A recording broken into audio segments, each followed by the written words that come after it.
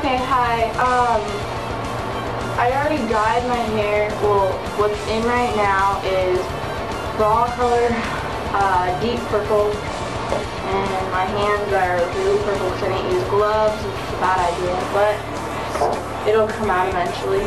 So I'm sorry that I didn't record putting it in, but basically I just put it in, these two strips, and blow dry it every so often, just let the heat and like let it all soak in.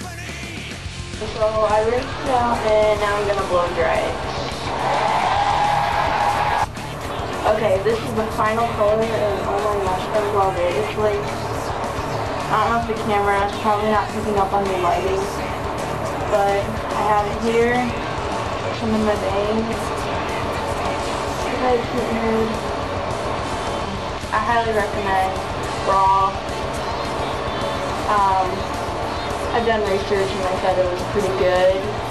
Like Manic Panic, I heard not so good things, so I'll just see how this works out. Maybe I'll do a review about it later, but yeah, first time using Raw, awesome. I will see you guys later.